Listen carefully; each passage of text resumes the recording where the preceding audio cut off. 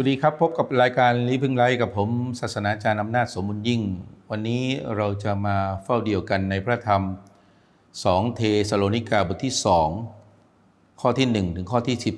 12 ในหัวข้อ เตรียมพร้อมแต่ไม่วู่วาม 2. เทสโลนิกา บทที่สองข้อ 1 ถึง 12 พี่น้องทั้งหลาย เรื่องการซึ่งพระเยซูคริสต์องค์พระผู้เป็นเจ้าของเรา จะเสด็จมา และที่พระองค์จะทรงรวบรวมเราไปอยู่กับพระองค์นั้น เราขอร้องท่านว่า อย่าให้ใจของท่านหวั่นไหวง่าย หรือตื่นตระหนกตกใจ ไม่ว่าจะเป็นโดยทางวิญญาณหรือคำพูด หรือจดหมายเป็นเชิงว่ามาจากเรา อ้างว่าวันขององค์พระผู้เป็นเจ้ามาถึงแล้ว อย่าให้ใครล่อลวงท่านโดยทางหนึ่งทางใดเลย ราะว่าวันนั้นจะไม่มาถึง จนกว่าจะมีการกรบฏเสียก่อน และคนนอกกฎหมายนั้นจะปรากฏตัว คือลูกแห่งความพินาศ ผู้กีดกั้นขัดขวาง และยกตัวขึ้นต่อสู้ทุกสิ่งที่ได้ชื่อว่าเป็นพระ หรือสิ่งที่เขาไหว้นมัสการนั้น แล้วมันก็จะนั่งในพระวิหารของพระเจ้า ประกาศตัวว่าเป็นพระเจ้า พวกท่านจำไม่ได้หรือว่า เมื่อยังอยู่กับท่าน ข้าพเจ้าได้บอกเรื่องนี้แล้ว และท่านก็รู้จักสิ่งนั้นที่กำลังยับยั้งมันไว้ในขณะนี้ เพื่อมันจะปรากฏออกมาได้ ต่อเมื่อถึงเวลาของมัน เพราะว่าอำนาจลึกลับนอกกฎหมายนั้น ก็เริ่มทำงานอยู่แล้ว แต่ผู้ที่คอยยับยั้งมันเดี๋ยวนี้นั้น จะยังอยู่จนถูกปลดออกไปให้พ้น ขณะนั้นคนนอกกฎหมายก็จะปรากฏตัวขึ้น และพระเยซูองค์พระผู้เป็นเจ้า จะทรงประหารมันด้วยลมพระโอษฐ์ของพระองค์ และจะทรงผลาญให้สูญไป ด้วยการเสด็จมาอันรุ่งโรจน์ของพระองค์ คนนอกกฎหมายนั้น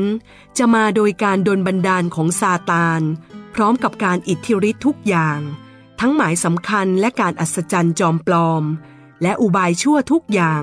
สำหรับพวกที่จะต้องพินาศเพราะเขาไม่ได้รักความจริงเพื่อจะรอดได้ เพราะเหตุนี้ พระเจ้าจึงทรงให้ความลุ่มหลงมาถึงพวกเขา ให้เขาเชื่อสิ่งที่เท็จ เพื่อทุกคนที่ไม่เชื่อความจริง แต่ยินดีในการอธรรมจะถูกพิพากษา พี่น้องครับเราเคยได้ยินลัทธิBranch Davidian ลัทธินี้เกิดขึ้นในปีคริสต์ศักราช 1993 ผู้นำลัทธิคือเดวิดโคเรช เดวิดเขาเป็นคนที่ สนใจและพูดเรื่องการเสด็จกลับมาครั้งที่สองของพระเยซูคริสต์ในเวลาอันใกล้ เขาประกาศตนเองว่าเป็นผู้เผยพระวจนะของพระเจ้าคนสุดท้าย เขานำคนติดตามเขาไปมากมาย แต่ในที่สุดรัฐบาลพบว่าเดวิดได้ทำธุรกิจ การค้าอาวุธสงคราม และในคริสตจักรของเขามีการล่วงละเมิดทางเพศ และทำทารุณกรรมเด็กและสตรี FBI ได้เข้าปิดล้อมคริสตจักรดังกล่าวเป็นเวลา 51 วัน ในที่สุดมีการเผาอาคารเขาเผาอาคารคริสตจักร ในเหตุการณ์ครั้งนั้นมีคนเสียชีวิตทั้งหมด 79 คน พร้อมตัวของเขาเอง และก็มีอีกลัทธิหนึ่งที่เราเคยได้ยินลัทธิของจิมโจนที่เราเรียกว่า People Temple ลัทธินี้จิมโจนมีการบังคับให้สมาชิกดื่มน้ำองุ่น ในพิธีศีลมหาสนิทโดยผสมยาเซยาไนท์เขาบอกสมาชิกว่าเพื่อเราจะไปอยู่กับพระเจ้าในแผ่นดินสวรรค์ที่มีความสุขกว่าโลกนี้ ในพิธีกรรมนี้มีคนตายมากถึง 914 คน อาจารย์เปาโลได้พูดในพระธรรมสองเทสโลนิกาบทที่ 2 ข้อ 12 ถึง 22อา จารย์เปาโลใช้คำหนึ่งที่เรียกคนที่เป็นคนที่นำคน เช่นนี้ว่าคนนอกกฎหมาย อาจารย์เปาโลบอกว่าพวกเนี้ยชอบระบุวันเวลาขององค์พระผู้เป็นเจ้าที่จะเสด็จกลับมา โดยอ้างว่าพระเยซูคริสต์จะเสด็จกลับมา ในเวลาใกล้นี้ และเขาอ้างว่าสิ่งที่เขาพูดนี้เป็นสิ่งที่อาจารย์เปาโลได้เขียนมา ฝากมาถึงพี่น้อง อาจารย์เปโลปฏิเสธเรื่องนี้และกล่าวว่า อย่าให้ใครมาหลอกลวงท่าน ไม่ว่าทางใด ๆ อาจารย์เปโลใช้คำว่าคนนอกศาสนาเหล่านี้ใช้อิทธิพลหรืออิทธิฤทธิ์ในการทำอัศจรรย์ การทำหมายสำคัญต่างๆ และปฏิหารจอมปลอม และทำให้คนที่เชื่อใหม่ในคริสตจักรหลงไปกับเขามากมาย ประกอบกับคริสตจักรช่วงนี้กำลังประสบความทุกข์ยากลำบากในการข่มเหง คนนอกศาสนาพวกนี้ก็จะย้ำเตือนสมาชิกว่าสิ่งเหล่านี้หรือเหตุการณ์ที่เกิดขึ้นเหล่านี้ เป็นสิ่งที่เกิดขึ้นก่อนที่พระเยซูคริสต์จะเสด็จกลับมา อาจารย์เปโลกำลังบอกพี่น้องในเมืองเทสโลนิกาว่า การเสด็จกลับมาของพระเยซูคริสต์นั้น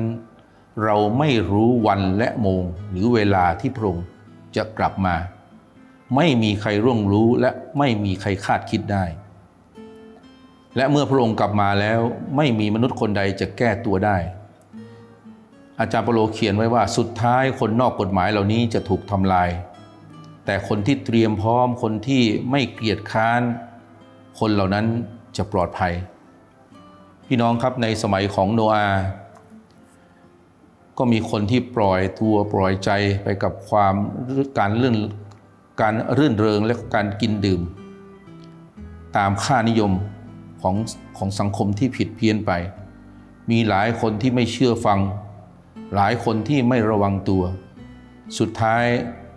คำเตือนของโนอาห์ที่พระเจ้าทรงเตือนเขาคือน้ำท่วมโลก คนที่เตรียมพร้อมเช่นโนอาห์และครอบครัวของเขาเท่านั้นที่ได้รอดจากเหตุการณ์ครั้งนั้น สิ่งเหล่านี้กำลัง เตือนคริสเตียนของเราว่าหนึ่งอย่าให้เราหลงไปกับผู้พยากรณ์เท็จ ที่พยายามกำหนดการกลับมาของพระเยซูคริสต์สองอย่าให้เราปล่อยชีวิตไปกับความรื่นเริงฝ่ายโลกนี้ แต่ให้เราเตรียมพร้อมและสนใจการเสด็จกลับมาของพระเยซูคริสต์ ข้อคิดใคร่ควรในวันนี้ พระเยซูคริสต์จะกลับมาเมื่อไหร่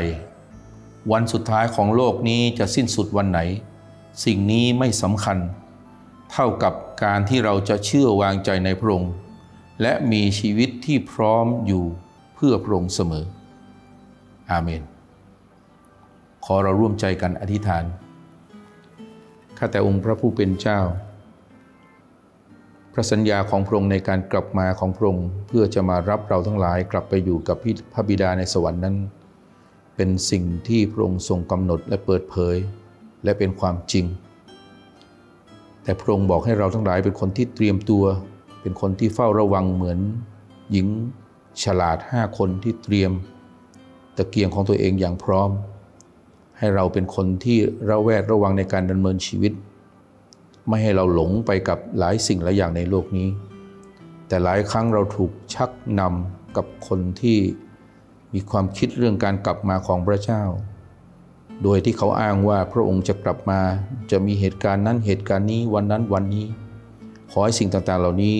อย่าให้เราทั้งหลายตกหลุมพราง การคำล่อลวงคำชักชวน เพราะสิ่งเหล่านี้จะทำให้ชีวิตของเรานั้น หลายครั้งเราเป็นคนที่เกลียดค้าน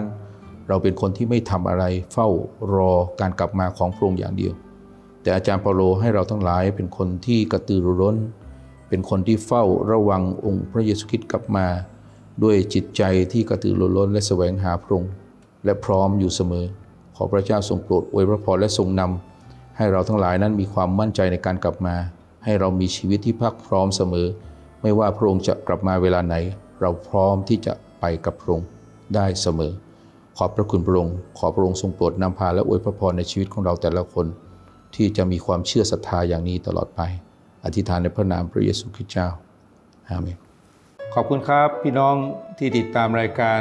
Living Life ก็ขอพี่น้องได้เข้ามาช่วยกดไลค์กดแชร์ กดติดตามใน CGN TV ด้วยนะครับ พี่น้องก็สามารถแสดงความคิดเห็นต่างๆ ได้เพื่อจะเป็นพระพรและเป็นประโยชน์แก่กันและกันครับขอขอบคุณมาก ๆ ที่พี่น้องช่วยติดตามในรายการของเรา ขอพระเจ้าอวยพรครับ